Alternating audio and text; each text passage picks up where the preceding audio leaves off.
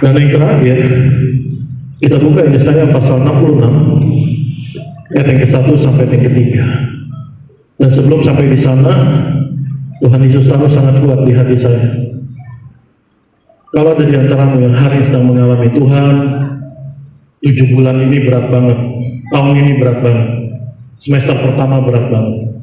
Kalau saudara ada di satu bidang, satu usaha, satu bisnis, satu pekerjaan, Tuhan dulu waktu kuliah dikejar-kejar IPK, sekarang kerja dikejar-kejar ke KPI. Dan kayaknya nyampe target sampai akhir tahun kayaknya berat banget. Saudara mungkin yang berusaha bekerja berbisnis mungkin merasakan atau mungkin banyak orang di marketplace sana katakan wah tahun ini kayaknya kering banget ya. Tujuh bulan ini berat banget ya. Dengar baik. Perkatakan janji Tuhan. Perkatakan firman Tuhan. Bahwa tahun ini adalah tahun rahmat Tuhan telah datang dalam hidupmu dan tidak ada yang Allah tidak sanggup untuk melakukannya di dalam semua perkataan dan firman-Nya. Beri kemuliaan buat Tuhan Yesus Kristus. Jadi jangan khawatir, jangan takut. Lalu-lalu dalam keadaan ya memang tahun ini berat, ya tahun ini kerang, kering, gimana nanti sampai akhir tahun. Tapi hari kabar baik ini kau dengar.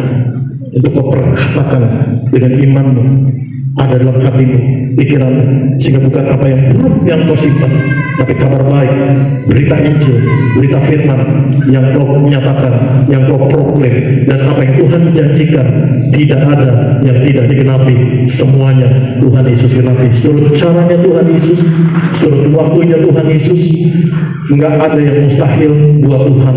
Buat tahun ini menjadi tahun rahmat Tuhan dalam hidupmu. Katakan sama saya, tahun ini dan tahun-tahun hidup saya menjadi tahun rahmat Tuhan Yesus dalam hidup saya. Katakan amin. Sehingga kita bisa berkata, selalu baru rahmatmu setiap hari. Amin. Mari kita lihat yang terakhir, Yesaya 66, ayat yang satu sampai ayat yang ketiga. Beginilah firman Tuhan, langit adalah tahtaku dan bumi adalah tumpuan kakiku.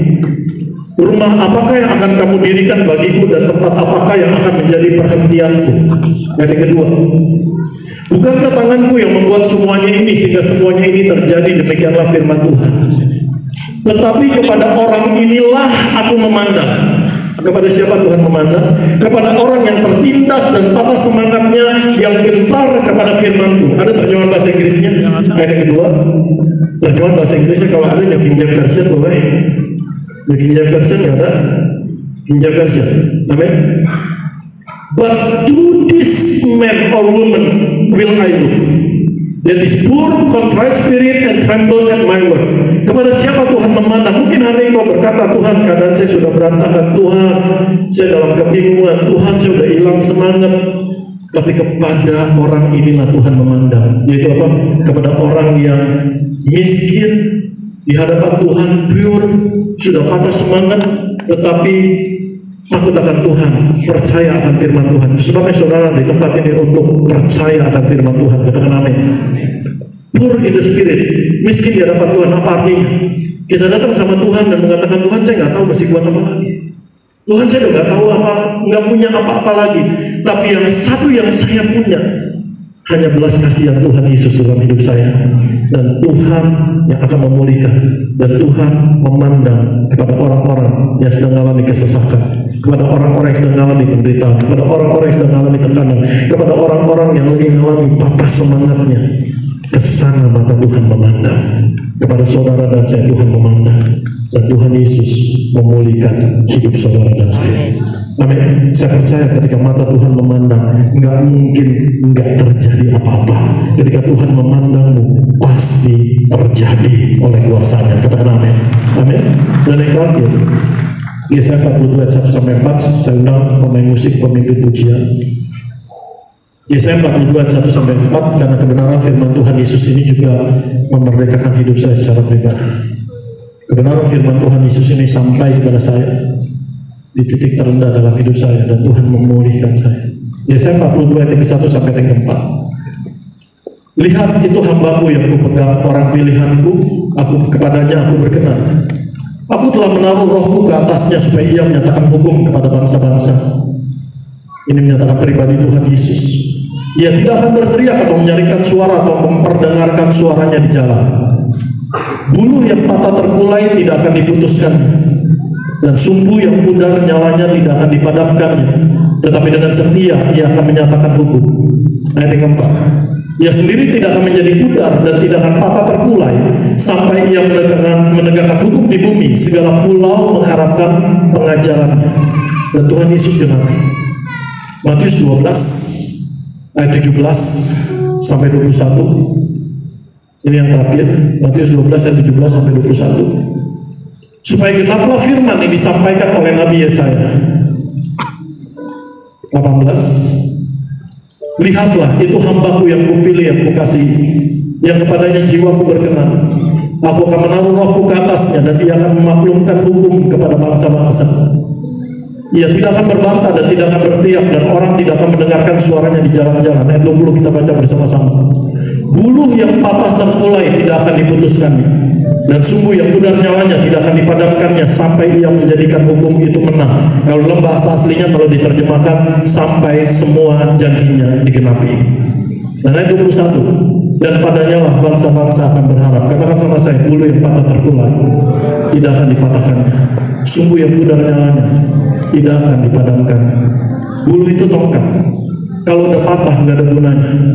Kecuali ada di tempat sampah tapi tidak buat Tuhan dia pulihkan. Sumbu yang pudar nyalanya kalau dulu kan pakai sumbu lalu pakai minyak zaitun.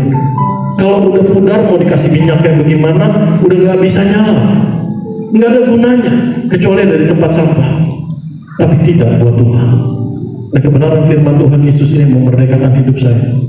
Di titik terendah dalam hidup saya saya sudah merasa saya nggak ada gunanya lagi untuk hidup Saya lulus kuliah dari sekolah bisnis terbaik di Jakarta tahun 99 dalam usia yang masih jauh lebih muda dibanding angkatan saya.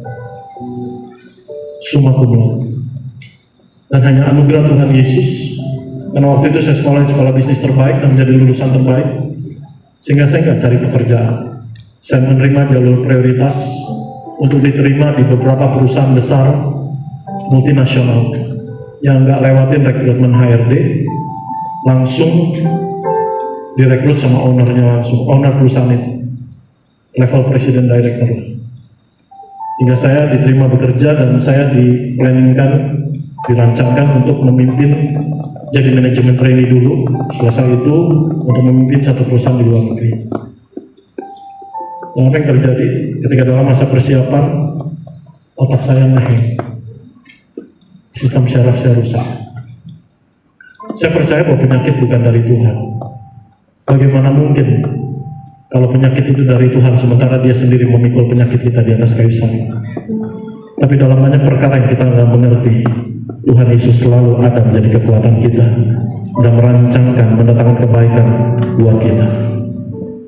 Sehingga saya nggak bisa ngapa-ngapain.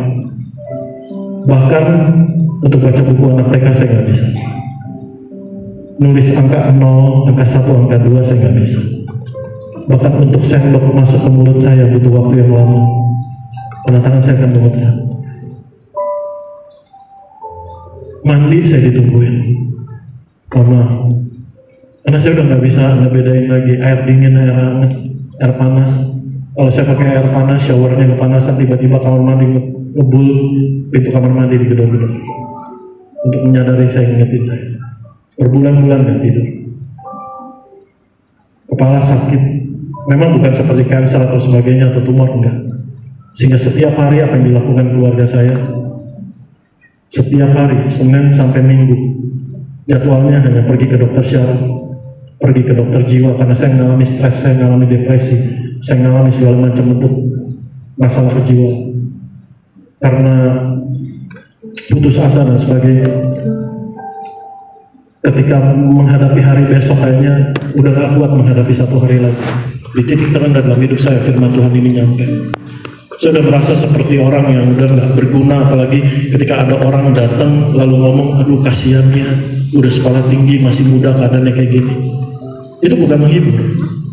Itu loh membuat saya semakin drop. Ya keadaan saya kesian banget kayak gini. Itu sebabnya kalau saudara besuk orang apalagi ada anak kecil yang sakit jangan bilang aduh kesiannya. Enggak bilang sama dia kamu hebat Kamu punya Tuhan yang akan membawa kamu melewati.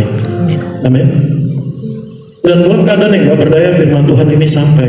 Saya waktu itu keliru mengenal Tuhan dengan dengan pemahaman saya yang keliru.